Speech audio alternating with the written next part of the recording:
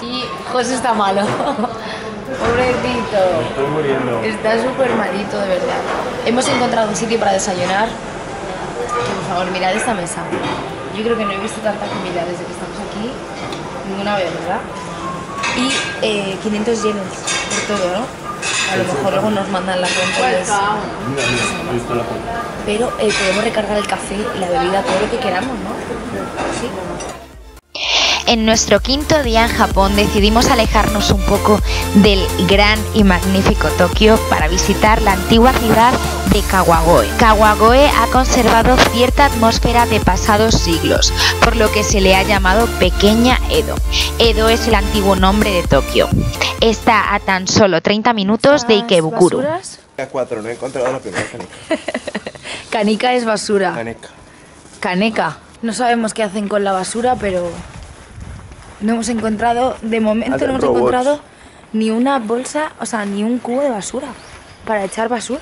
No sabemos qué hacen con los gatos ni con los perros y tampoco sabemos qué hacen con las basuras porque no Y hay. los vagabundos.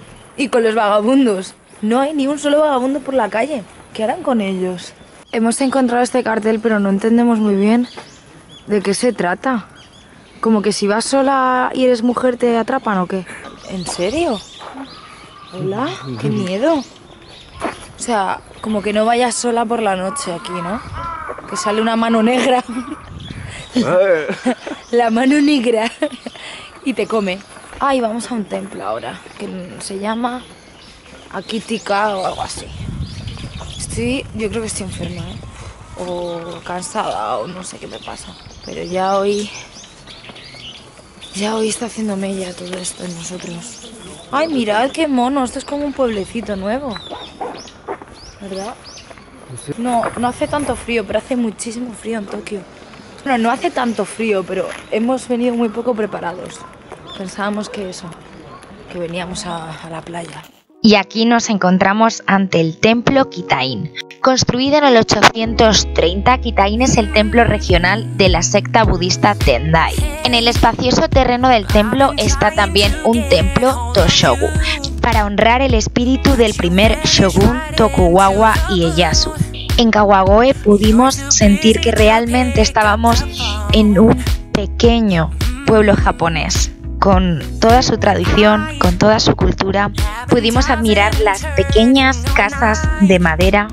La verdad es que fue como transportarnos un poco en el tiempo, pasar de una época súper moderna en Tokio a lo que realmente fue Japón en sus orígenes. Japón, ¿cuánto me has enseñado? Nunca pensé que haría este viaje porque quizás hubiese elegido otro destino más turístico, o una playa o algún sitio en el que solo me tuviese que tumbar y disfrutar. Y contigo ha sido muy especial. La verdad es que me he enamorado de tus calles, de tu gente, me he enamorado de tu cultura, me he enamorado de ti completamente. En este viaje he aprendido muchas cosas. He abierto mi mente muchísimo más a todo lo desconocido y he aprendido a valorar la vida desde otro punto de vista. Gracias, porque seguramente tú no lo sabrás, pero con este viaje mi vida ha cambiado un poquito y he aprendido muchas cosas y he descubierto muchas otras que quizás no sabía de mí misma.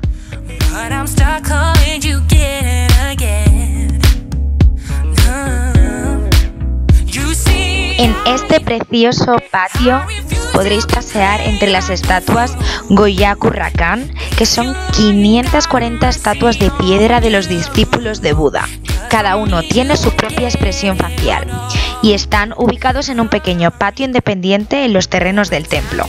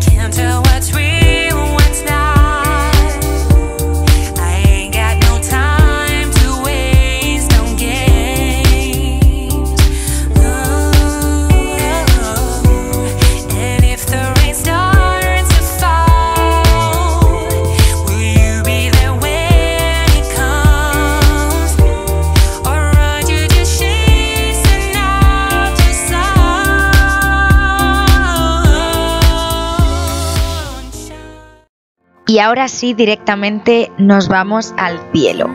Os presento el edificio Tocho o también llamado el edificio del gobierno metropolitano de Tokio. 243 metros de altura con dos torres y cada una con un observatorio panorámico de 202 metros de altura desde los cuales vamos a poder disfrutar de preciosas vistas de Shinjuku o de la ciudad y de sus alrededores si disfrutamos de buena visibilidad. Incluso podríamos ver hasta el monte Fuji. Eh, Estamos en el edificio metropolitano del gobierno de Tokio. Muy bien. Y nos hemos encontrado otro español. Vaya sorpresa. Se cree que habla español, con acento español. La entrada es completamente gratuita y además está abierto normalmente hasta las 11 de la noche. Y os aseguro que es una de las mejores vistas que vais a poder observar.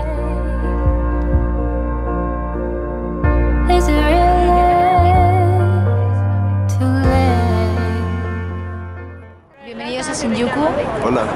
eh, ciudad de vacaciones. ¿Aquí qué hay? Importante. Luces y hay gente de España. Luces, neones y mirad, ese es nuestro amigo de España. ¿Dónde está? Se ha Se ha quedado ahí, perdido. se ha quedado ahí. Nos quiere quitarnos el otorgano. Vídeo. Hola Cami. Es el, el penúltimo día, mañana ya nos queda otro día más y esto es para YouTube. Sí, Sí, un canal de YouTube. Javi de Talavera de la Reina. sí, Pues nada, vas a salir en YouTube. bien. Me he tirado un besito ahí. Que nos hemos conocido en el. ¿Cómo se llama? En el edificio torre, del.